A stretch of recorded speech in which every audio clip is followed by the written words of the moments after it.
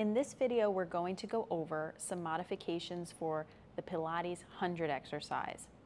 And the reason why we're going to modify this exercise is because the traditional 100 exercise, where we flex up into position, can be uncomfortable for people with scoliosis. For the traditional exercise, you will usually round from your spine and have to really lift your head and neck, which can strain for some people and be uncomfortable. So in this modification, we're going to do level one, where you'll bring one knee up into a tabletop position. Use your breath to engage your abdominals as we did with centering, and then create up and down movements of your arms to challenge your core.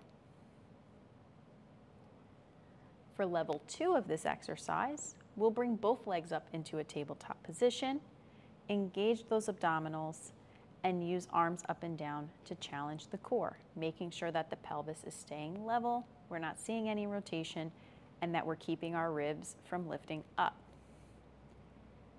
Now, if these are too easy and you feel you have very good control of your head and neck and no neck pain or issues, you can go to level three of this exercise where you can use a ball to help support your upper back as you're performing.